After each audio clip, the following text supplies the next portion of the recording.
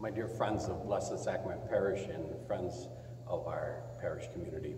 Just wanted to reach out to talk to you and let you know that I am thinking about you and praying for you as we go through these difficult times. It's, it's a strange challenge. It's a strange walk that we walk at this day uh, with all that's going on in our, in our church, in our society, and the illnesses that are around.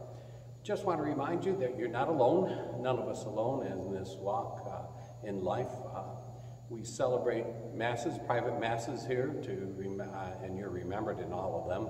Ask you to remember me and all the, the priests of our diocese uh, in your prayers as well as we walk with people through these times and hope to bring goodness and hope to you. You know, the church is open right now from uh, 11 to 1 on Monday, Wednesday, and Friday, and on Sunday, 11 to 1. Sometimes those change according to different uh, situations going on, but it'll be posted in the front of the church. You're welcome to come by.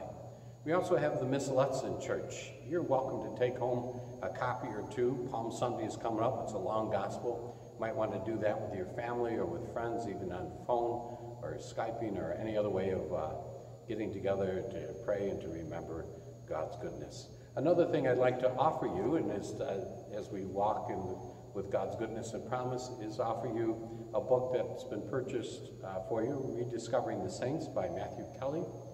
It's a wonderful book, a number of short chapters, uh, two or three pages each, talking about the different saints.